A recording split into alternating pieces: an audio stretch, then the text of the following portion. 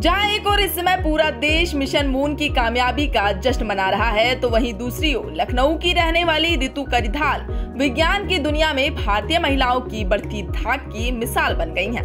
अब आप भी जानना चाहेंगे कि ये ऋतु आखिर है कौन तो आइए आपको बताते हैं दरअसल हाल ही में भारत का तीसरा मून मिशन, चंद्रयान थ्री दो बजकर पैंतीस मिनट पर सफलता पूर्वक लॉन्च हो गया। और चंद्रयान थ्री मिशन की लैंडिंग जैसी बड़ी ज़िम्मेदारी की कमान संभाली है महिला वैज्ञानिक ऋतु करिधाल ने।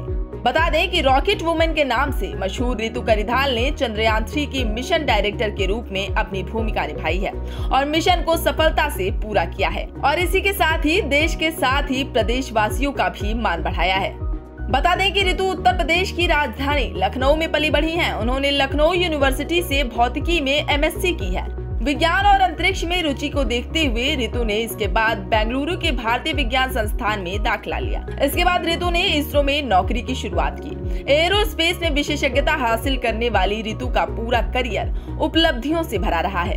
2007 में ऋतु को यंग साइंटिस्ट अवार्ड भी मिल चुका है। साथ ही अलग अलग मिशन में उनकी भूमिका को लेकर देश के प्रमुख अंतरिक्ष विज्ञानियों में उनका नाम शामिल है।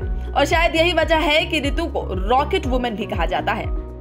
गौरतलब है कि चंद्रयान थ्री को आंध्र प्रदेश के श्रीहरिकोटा स्थित सतीश धमन स्पेस सेंटर से छोड़ा गया। चंद्रयान थ्री को L V M three M four rocket से लॉन्च किया गया। आपको बता दें कि इसरो इससे पहले साल 2008 में चंद्रयान एक और 2019 में चंद्रयान दो को लॉन्च कर चुका है। चंद्रयान एक में सिर्फ़ ऑर्बिटर था। चंद्रयान दो में ऑर्बिटर के साथ साथ लैंडर और रोवर भी थे। और इस बार चंद्रयान थ्री में ऑर्बिटर नहीं है, सिर्फ़ लैंडर और रोवर ही हैं।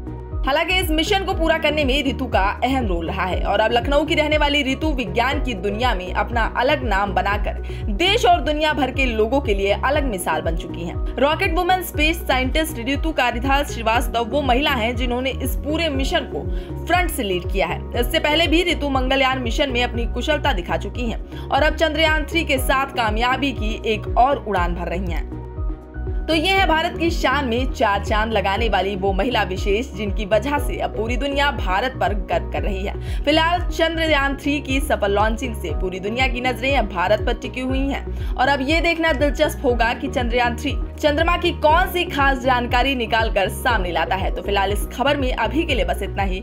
देश दुनिया की तमाम खबरों को जानने के लिए सब्सक्राइब करें हमारा चैनल इंडिया पब्लिक खबर और बेल आइकन को दबाना बिल्कुल ना भूलें।